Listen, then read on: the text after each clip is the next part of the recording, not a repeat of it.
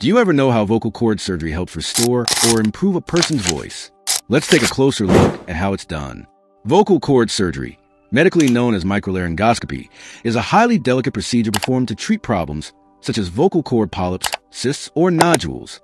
The procedure begins under general anesthesia, ensuring the patient remains comfortable and completely still throughout the surgery. A specialized instrument called a laryngoscope is gently passed through the mouth, allowing the surgeon to reach the vocal cords without making any external cuts. A high-powered surgical microscope provides a magnified view of the vocal cords for maximum precision. Once the vocal cords are clearly visible, extremely fine microsurgical instruments are used to carefully remove or repair the damaged tissue. Surgeons work with exceptional accuracy to protect the surrounding healthy tissue, which is essential for maintaining voice quality. In some cases, laser technology is used to precisely eliminate abnormal tissue while preserving nearby healthy areas. After the procedure, patients may experience temporary hoarseness.